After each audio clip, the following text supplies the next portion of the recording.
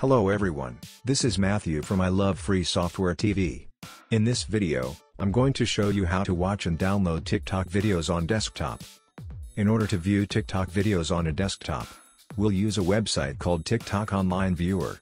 As its name implies, you can watch TikTok video content online on this website without installing the app. The good feature about this website is that it does not require any account. On the home screen, you can search for videos in different categories.